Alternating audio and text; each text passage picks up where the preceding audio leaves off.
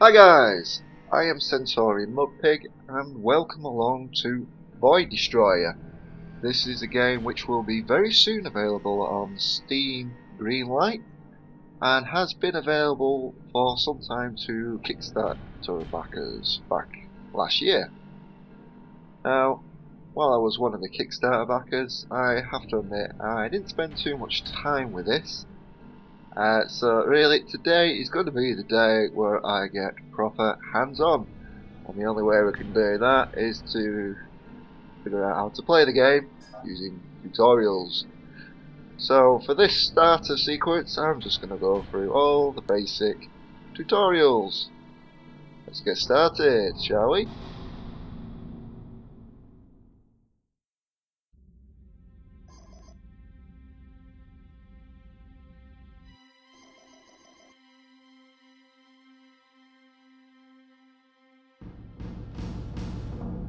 So that'll be our little ship down there. We just launched from a starbase. Well, we've even got little pictures now, which is new. So, morning sir, today we'll be running through basic flight. Be sure to share any nuggets of wisdom you have for the recording. Sure, we say. This is ship mode where the action takes place. You can directly control the ship or watch as the crew do their job on your behalf.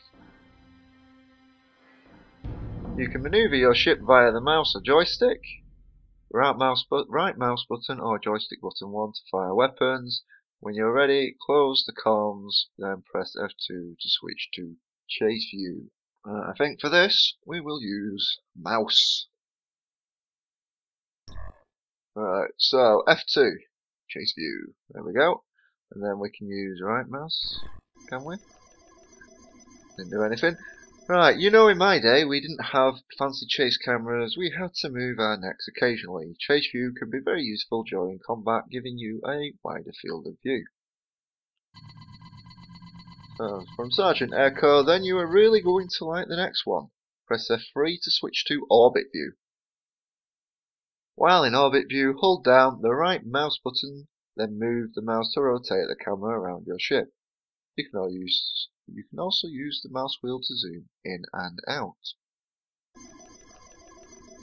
Orbit view is a great tool when you need to pick up cargo or just enjoy the scenery. Orbit view, and there we go. Now we can see the starbase behind us. So you can see that the developer has gone with a toon shaded look. That's his idea. So a bit like comics, etc. Right, great. Press F1 to go back to the cockpit view when you are ready.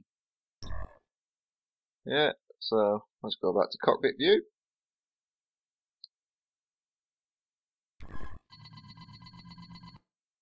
Right, recap, cockpit view, chase view, rotate view, yeah, yeah, yeah. Right, press backspace key to set the ship's speed to cruise speed.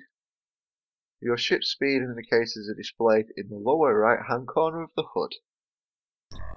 Backspace, off we go. And there we go, I can see down there, stuff was happening. Now speed is increasing. Cruise speed is the ship's optimal speed. The actual value varies based on the ship type and class. So the intent of cruise speed is to travel at a manifold rate due to lack of drag in space. The cruise speed value is a speed that the individual ship will easily be able to handle when changing direction without too much drifting. So we can go faster than cruise speed. Press the equals key to increase the ship's speed. This allows you to travel faster than cruise speed. Press the minus key to slow the ship down your ship can travel in reverse. Press the backslash key to stop.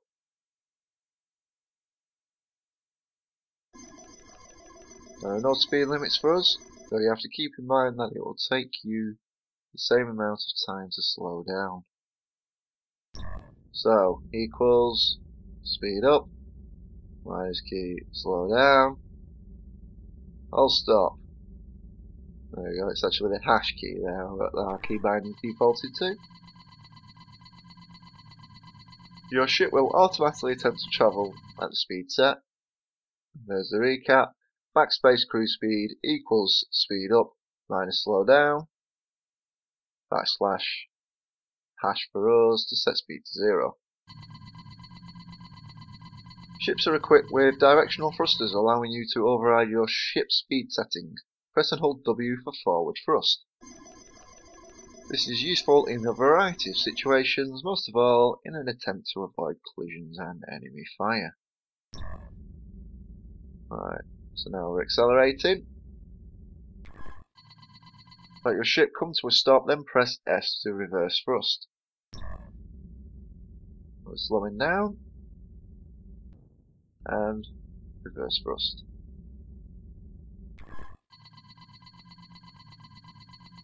Ships come equipped with thrusters in all six directions.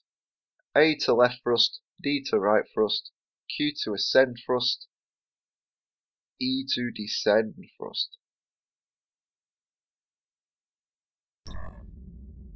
Right, so we're thrusting up with Q, thrust down with E.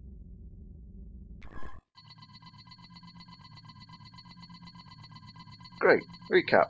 W forward, S back, A left, D right, Q up, E down. Manual thruster control can be a lifesaver in combat as well as good use during docking or picking up objects. Press the F2 key again to switch to chase mode.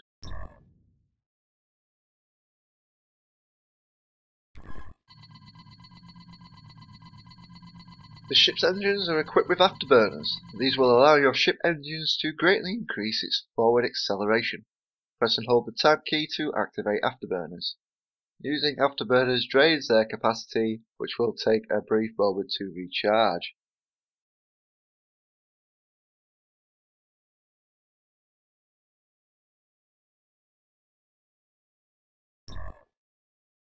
Afterburn! Woo!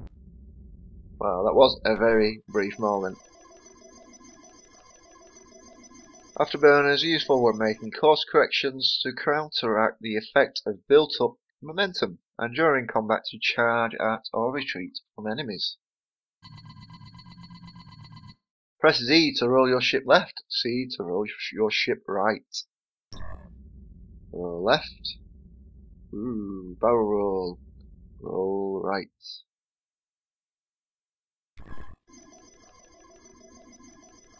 If your ship has turrets, rolling can help align turrets to their optimal firing arcs. You can also roll your ship via a joystick that has a third axis. Currently your ship should be in auto thrust mode. You can see which mode your ship is in in the bottom ship status icons. Let's turn off auto thrust mode. Press F to toggle auto thrust. Auto thrust is here to keep your ship moving in the direction that it is facing and to maintain speed set by the speed setting. F, there we go, so the little white diamond turns off. Auto thrust should now be disabled.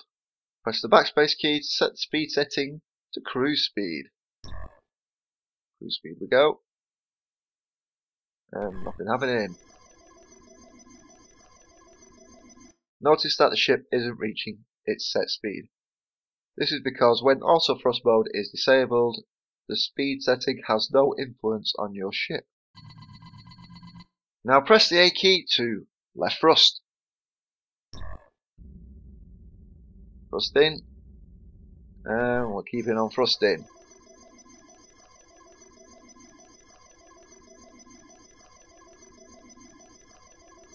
When you let go of the A key, the ship will still travel to its left and not slow down. Don't forget to combine disabling auto thrust and using the afterburners, allowing you to surpass your cruise speed quite easily. Disable auto thrust and use the directional thruster in combat while keeping a bead on your target. This will avoid collisions and still allow you to fire on your target. When you pass your target, do a 180 to still keep your guns firing. Now re-engage autothrust by pressing the F key. Autothrust re-engage, let's finish doing our barrel rolls so we're now level. Now that autothrust is engaged, your ship will reach its speed setting and will thrust right to compensate for the previous left thrust. So don't forget, by turning off autothrust you can maneuver without changing flight direction. Thus you can aim your opponent without flying towards them. Your mouse can be used to maneuver your ship. It can also be used to interact with the ship's heads-up display. But press the left control key to change the mouse mode. Left control key, mouse mode set to maneuver. Chances are that you don't have a joystick to pilot with. If that's the case then your mouse mode is now set to GUI mode. In this mode your mouse won't maneuver your ship anymore, instead you can interact with the HUD by clicking on it.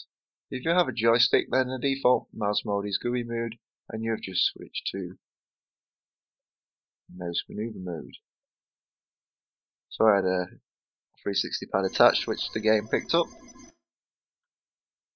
Every ship should come with a joystick, if only as an option. It is a bit old school these days, sir. This completes the Flight Basics tutorial.